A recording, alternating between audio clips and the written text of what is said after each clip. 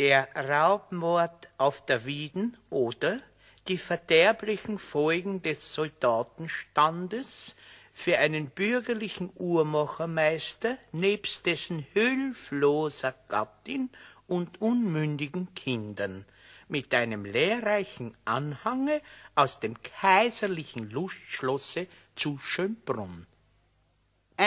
Ein Raubmord wird vor kurzer Zeit all hier in Wien vollbracht, der bei der Menschheit allgemein ein großes Aufsehen macht. Daher will ich die Schreckens dazu gut ich kann erzählen, damit man sieht, wie mancher Mensch sich kann oft groß verfehlen. Ein Uhrmacher saß im Gewölb zur Mittagszeit vergnügt und hatte seinen Sohn nach Haus ums Mittagsmahl geschickt.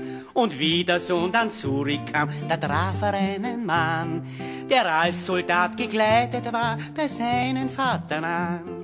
Mit einem Messer hatte er den Vater mit Bedacht von rückwärts an den Kopf und Hals zwei Schnitte angebracht.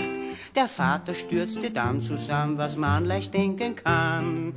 Der Mörder raubte 15 Uhren, entfloh damit sodann.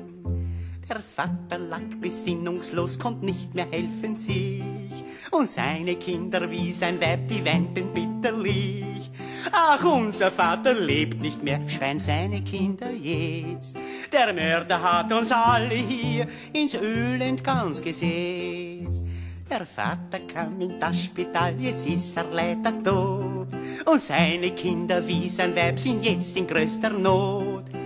Haus wurde eine Sammlung dann für ihn gemacht, geschwind, wo 43 Gulden rein schnell eingegangen sind.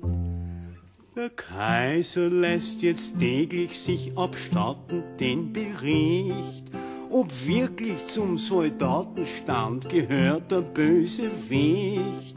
Es wär ihm lieb, wenn kein Soldat der Missetäter wär. Die Ehre wär gerettet dann von seinem Militär.